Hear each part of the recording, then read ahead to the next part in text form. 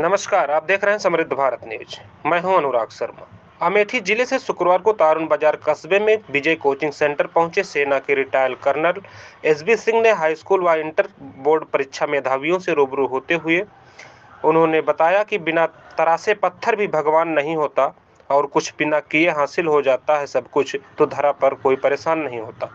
उन्होंने सेना में क्लर्क पद पर हुई भर्तियों से लेकर कर्नल लेफ्टिनेंट बनने तक का समय मेधावियों के बीच में साझा किया। उन्होंने बताया कि होनहारों को ऊँचे मुकाम हासिल करने में गुरु का बहुत बड़ा योगदान होता है।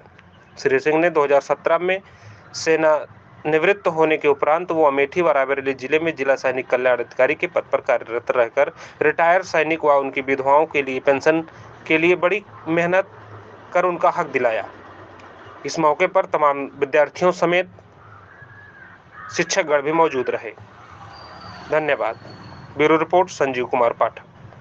को तोड़ करके ना झाड़ू लगा लेते थे। लाइफ जितना, कहने का ये मतलब है, जितना आपका लाइफ संघर्षमय होगा, उतना आप डिसिप्लिन सीखेंगे पंक्चुअलिटी सीखेंगे।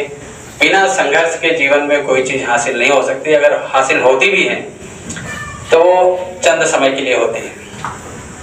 तो उस स्तर से मिडिल क्लास में गए, फिर हम इंटर कॉलेज मुसाफिर खाना से इंटरमीडिएट किया। उन दिनों हम लोग के टाइम पर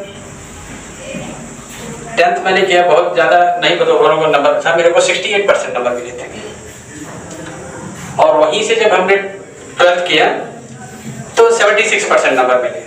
उन दिनों ये मार्क्स अगर आप पुराने आपके माता पिता होंगे तो आप उनसे पूछेंगे मतलब काफ़ी आप एक ब्लॉक के अंदर में एक और प्रतिष्ठित श्री एसबी सर का आगमन हुआ और सारे बच्चे इनके सम्मान में लगे हुए हैं।